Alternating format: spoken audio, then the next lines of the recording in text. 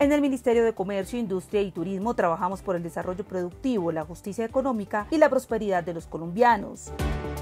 Esta semana celebramos el primer año de la reapertura de la frontera entre Colombia y Venezuela por norte de Santander, con una macro rueda de negocios en Caracas organizada por ProColombia y Bancoex, en la que participaron cerca de 600 empresarios de los dos países. En el evento académico participó la vicepresidenta de Venezuela, Delcy Rodríguez, altos funcionarios de ese gobierno, así como el presidente de la CAF, Sergio Díaz Granados.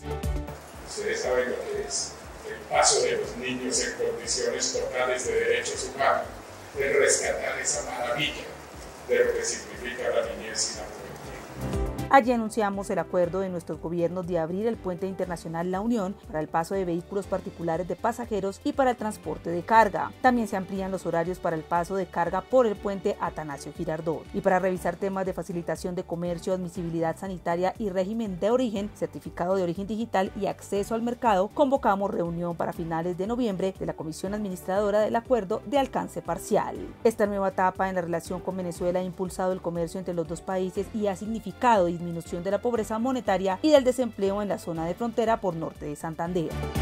En Bogotá, el ministro Germán Umaña Mendoza, junto a sus colegas de Hacienda Ricardo Bonilla y de Planeación Nacional Jorge Iván González, recibieron un sentido homenaje a su trayectoria profesional por parte de la Cooperativa de Profesores de la Universidad Nacional, en el marco del conversatorio sobre perspectivas del sector solidario en el nuevo Plan Nacional de Desarrollo. El sector cooperativo juega un papel clave en la construcción de un país más equitativo, inclusivo y con oportunidades para todos.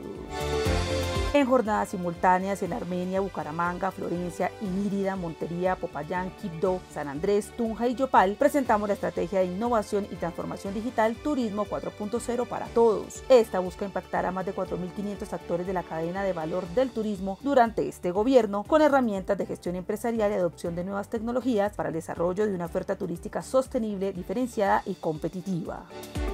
En el Ministerio de Comercio, Industria y Turismo trabajamos por el bienestar de los colombianos.